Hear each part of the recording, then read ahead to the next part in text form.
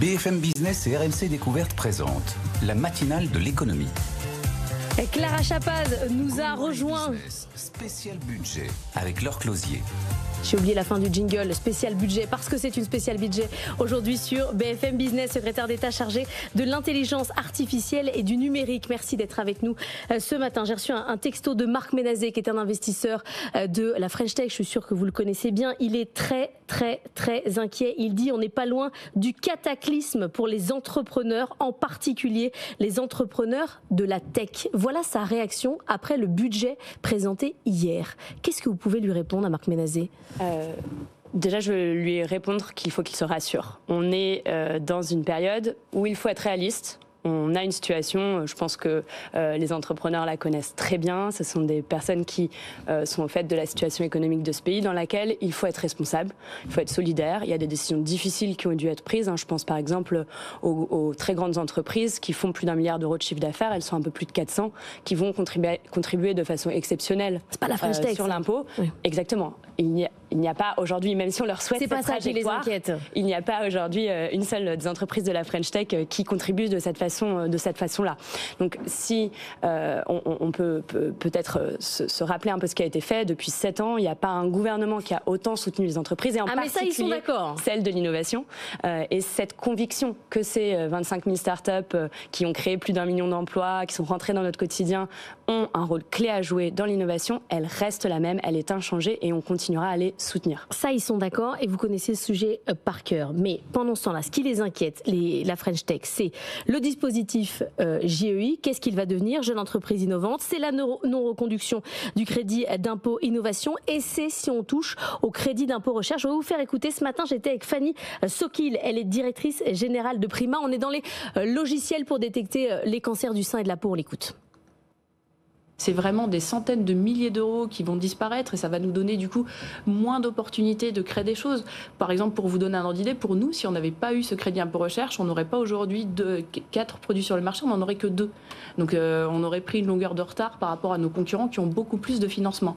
Quel est l'avenir de l'innovation dans les deux prochaines années? Alors, je, veux, je veux rassurer euh, euh, cette entrepreneuse qui, développe des solutions très importantes, hein, je l'entends. Euh, et comme je veux rassurer Marc, le crédit impôt recherche ne sera pas touché, en tout cas dans la proposition de budget que l'on fait aujourd'hui. Hein, c'est une proposition qu'il va, qu'il va falloir améliorer. On a eu seulement deux semaines hein, pour travailler ce budget. Et donc là, va s'entamer un travail, un travail d'amélioration qui est très important avec le Parlement. J'y reviendrai notamment sur le dispositif Jeune Entreprise mmh. Innovante. Mais dans ce qui est important à faire passer comme on n'y touche pas au crédit Le crédit recherche. recherche dans cette proposition de budget reste inchangé. C'est un dispositif très important qui soutient les efforts de recherche et développement. Et vous pouvez imaginer que dans cet écosystème, il y a beaucoup de recherche et, développement. On euh, garde aussi euh, tous les grands plans d'investissement. L'enveloppe globale du plan France 2030, c'est quand même 54 milliards d'euros et sanctuarisé euh, avec des plans comme le plan start-up industriel, le plan Deep Tech, tous ces grands plans de financement. 50% des 54 milliards d'euros vont à destination des startups, pareil, ne sont pas touchés. Euh, c'est euh, ces plans qui ont permis, euh, bah, par exemple, de soutenir un projet comme Vercor, qui aujourd'hui crée 1200 CDI industriels dans la région du Nord. Le dispositif, dispositif Jeune Entreprise Innovante, selon France Digital, c'est près de la moitié des startups qui ont recours à cette aide pour embaucher. Le dispositif Jeune Entreprise Innovante, en effet, c'est un dispositif dont je veux parler ce matin.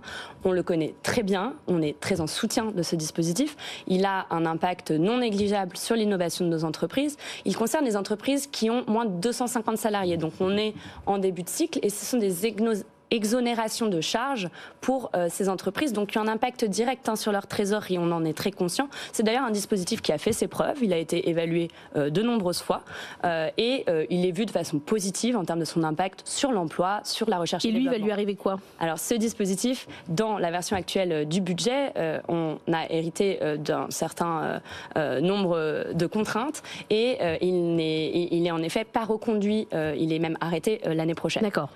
donc là, il va y avoir des impacts, c'est sûr. C'est une euh, proposition de budget et comme l'a dit le Premier ministre, euh, et c'est le message que je veux passer aujourd'hui, nous, euh, ce dispositif, on y croit, on a envie de pouvoir continuer à le porter.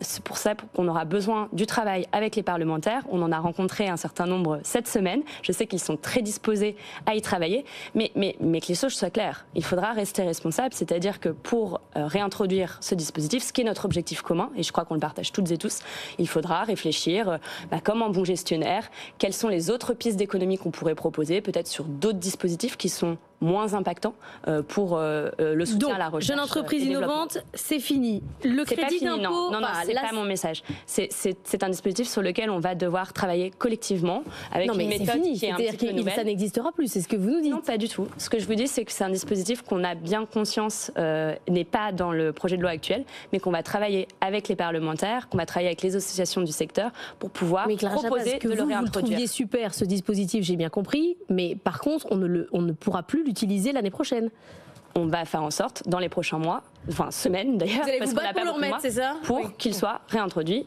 et pour ça, on compte sur les parlementaires et c'est un travail qui, en effet, va être euh, hmm. très important, un travail collectif. C'est aussi un changement de méthode. On va travailler ce budget. Euh, le Premier ministre l'a dit euh, dès ce week-end. On appelle à la contribution pour l'améliorer, pour réfléchir ensemble dans le respect des règles budgétaires parce que je pense que tous les entrepreneurs que vous avez cités le savent très bien. Si le déficit dérape, on est sur un enjeu bien plus grand. Dernier mot sur le crédit impôt innovation. Là, c'est pour les prototypes. Ça aussi, c'était important. Est-ce que ça, ça va être touché dans le budget? Euh, le crédit impôt recherche dont on parlait tout à l'heure C'est le crédit impôt innovation, c'est vraiment vraiment sur les prototypes. Ah, le oui, le crédit le euh, CII. Le, CII pour les pour les experts.